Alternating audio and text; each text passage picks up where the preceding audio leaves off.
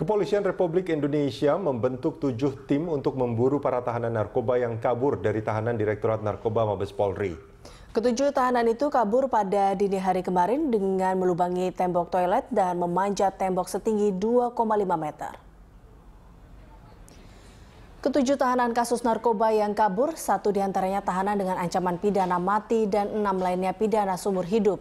Mereka dilarikan dan kami melarikan diri setelah memanfaatkan kelengahan petugas dengan cara melubangi tembok toilet berdiameter sekitar 30 cm, lalu memanjat tembok setinggi 2,5 meter dan ketujuh buronan itu antara lain adalah Azizul alias Izul, Ridwan R alias Mame, Chai Chang alias Antoni, Antoni alias Ridwap, Amiruddin alias Amir, Ricky Felani alias Ruslan, Sukma Jaya alias Jaya.